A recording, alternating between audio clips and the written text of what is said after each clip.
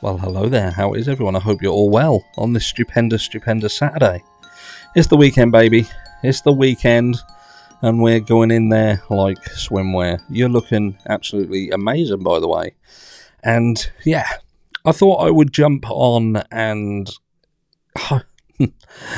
talk about Sebastian Rogers this morning because this is a case that, for the most part, I've stayed away from it's turned into a complete and utter circus. A complete and utter circus. The one good thing that comes of that, however, is that with the circus element comes drama. With drama comes interest. With interest comes of, of how can I say, like a bit of a virility on the online community. You know what I mean? People see it, it's in the public eye, people are kept interested, and therefore Sebastian doesn't get forgotten about. But in the grander scheme of things, that doesn't really help him. It doesn't really help Sebastian. Nothing's that nothing that's been said brings us any closer to finding him. Nothing that has been done, nothing that's been found, has brought us, in my opinion, any closer to obtaining answers as to what has happened to Sebastian. But I think as time progresses, we can certainly strike off some of the things that are likely to happen because the hope that we have tends to fade over time because some of the things that you believe could be a potential they become less likely and let's just touch on that for a start and then we'll talk about what is actually happening in the Sebastian Rogers case, how this case is turning into basically Summer Wells 2.0. We even have the introduction into the Sebastian Rogers case our own Tim Mullins now. Can you remember Tim? Tim, Tim, Tim. But anyway, right. So we have a situation where this little boy's gone missing. He's gone missing. He's vanished off the face of the pl- fucking planet. That's the be all and end all. That's that's that's the bare bones of it. A young lad who was last seen on a camera outside his family home goes into the house and then is never seen again. And look, at the beginning, we can talk about the resourcefulness, despite the fact that he has autism, he's on the autism spectrum. He he could have had some form of resourcefulness, but that resourcefulness and the the hope we have around that resourcefulness tends to run out over time because that resourcefulness isn't going to be something that can carry him far enough to escape the attention someone would see him. Someone would be able to to to perhaps get involved. He would perhaps have to at some point seek help, seek assistance, and with that help and assistance will become a, a, a potential that someone would go to law enforcement and say, "Look, I, have come across this um, this young man. I believe everyone's looking for him."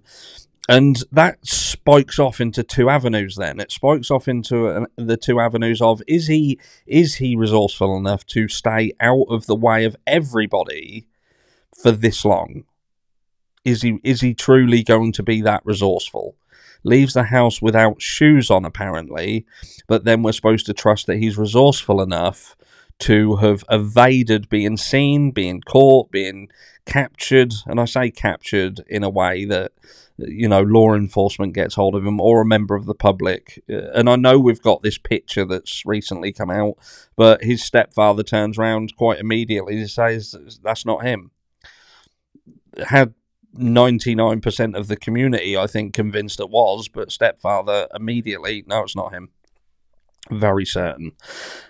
And then the other branch of that is if he is, and I've asked this question before, if he truly was that resourceful, to evade all these people, then what would have made him be that resourceful that he felt that he needed to be that resourceful. He needed to stay away. He didn't want to, under any circumstances, risk not only going back to the Proud Feet, but even Seth, his dad. Like some people said, he he wouldn't have been able to walk and get to his dad, but he could have walked to someone to get to someone to say, "Get me to my dad." I'm missing, and, and, and that would have been an easy thing to have done. It's not like someone around that area, I would say within walking distance or hitchhiking distance that there'll there'll not be somebody who knows that this young man is missing. And if he gave them his name, they could quickly search and uh, and and locate exactly what's going on. So again, this is why my hope is somewhat dwindling in the leave home under own volition, has some degree of resourcefulness, and carries him in in a direction of of safety. That that is slowly but surely wearing thin. And like I say, now we have a situation where there's there's clearly family issues. There's there's a divide. There's there's Camp Proudfeet and Camp Seth.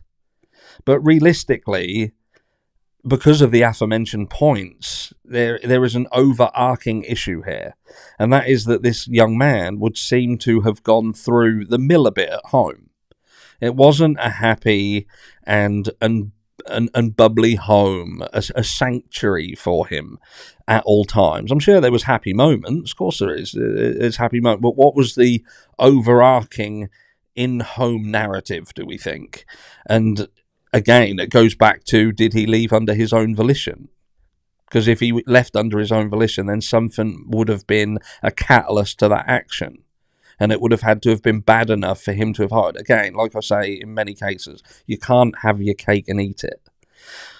But this case is becoming airy, airily similar to Summer Wells. Same area, TBI involved as well, and pretty much the same kind of dynamic albeit Ben Hill Road is like a bit of a you, you look at it as a bit of an image from a film like Wrong Turn, whereas the Proud Feet of uh, they seem to have a much more how can I say financially stable situation around them.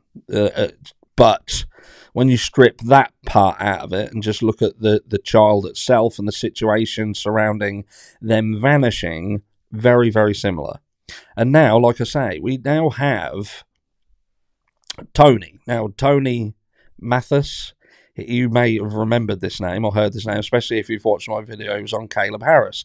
This is a guy who came forward as a spokesperson for Caleb Harris's family. Caleb Harris is still missing.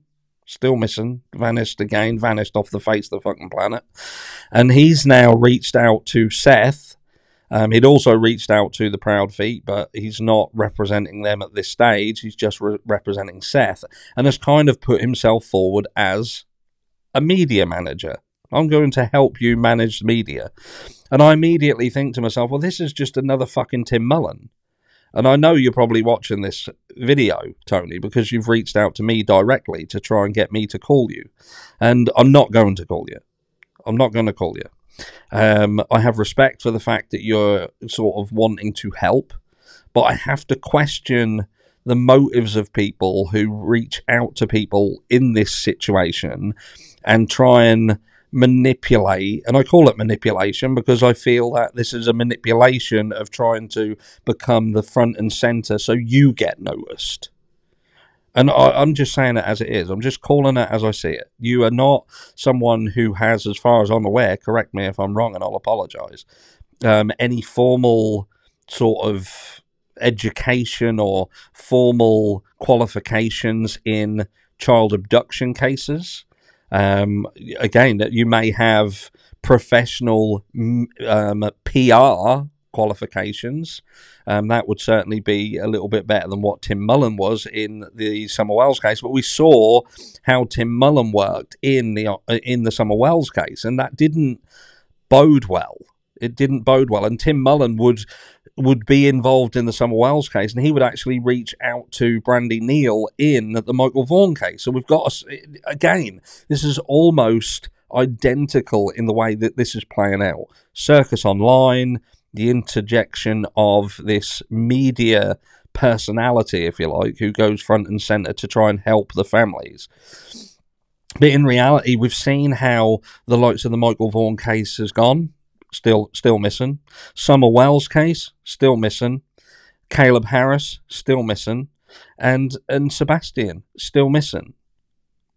And what do we think is going to change? What do we think is going to what? It's like doing the same thing over and over and over again and hoping for a different outcome. And that's all that keeps happening in these cases. The same thing happens over and over again. It becomes a media circus. We get the craziness around these cases. But the real cen- central part, the integral part of these cases, never gets challenged.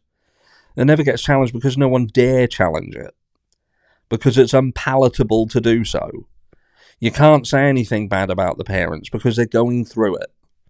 Well, do you think they're going through it? Think about Sebastian. Think about what he is going through. Whatever story or narrative you want to pick, whether he left of his own volition, think of what he must have been going through and is still going through if he left under his own volition. Where is he? Why has nobody seen him? Why has nobody heard from him? You have to ask yourself if that is something that he is, again, doing under his own volition to make sure no one finds him. What would have had to have happened that was that bad that he felt that that was the route he had to take? And what are the alternatives? Again, I've said this before. What did someone go into that house and take this young man out of his house? Now, I would say that if a stranger went into that house and tried to grab him, he would have flipped his shit.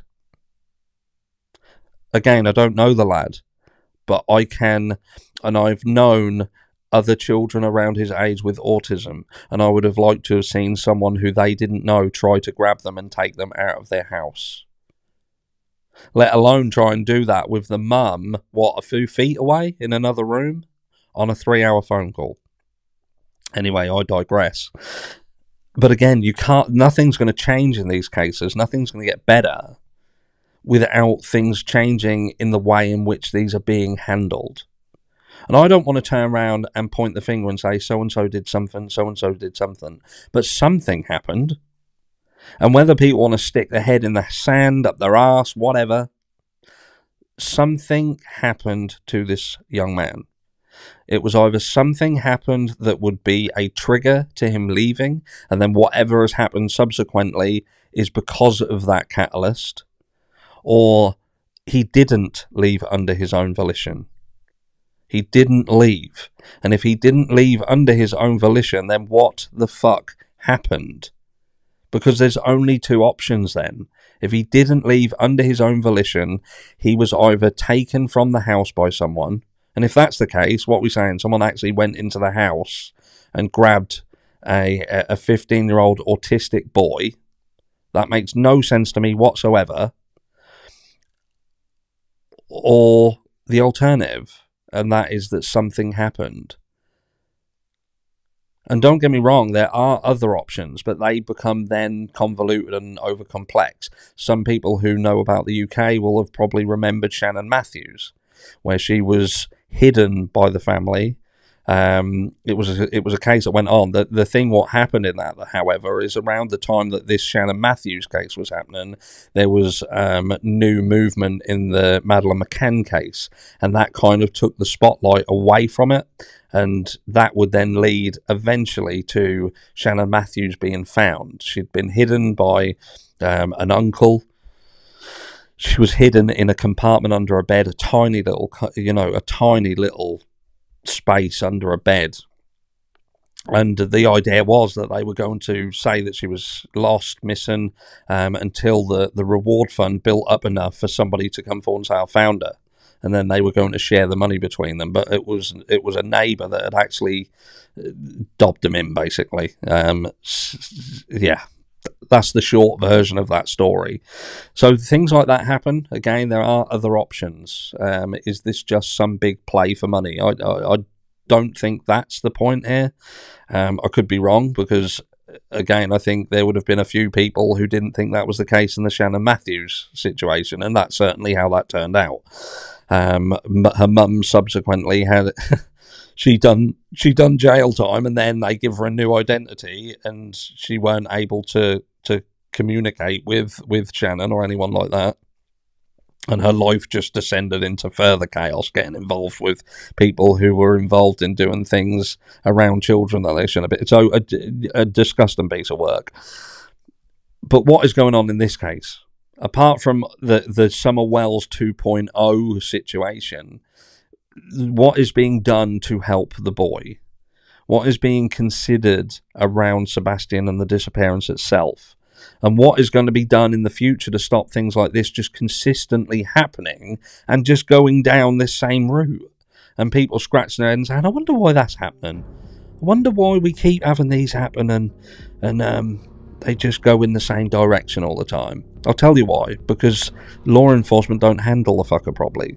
They don't handle the problem. The the main focus when a child goes missing should be that child. Straight away, immediately. Fuck everyone else and their feelings. Fuck your feelings. They should be brought in, separated, and all of them questioned. Questioned and questioned and questioned until you can't question them anymore. You've found every single thing that you need to find out until you have exhausted every single avenue of questioning. You have to hold them until this boy is found then hold them until the boy is found. And I know people aren't going to like that. But you can't keep expecting things to work out differently when they're handled exactly the same and keep having this fucking outcome. Anyway, that's the harsh reality. And I'll catch you all in the next one.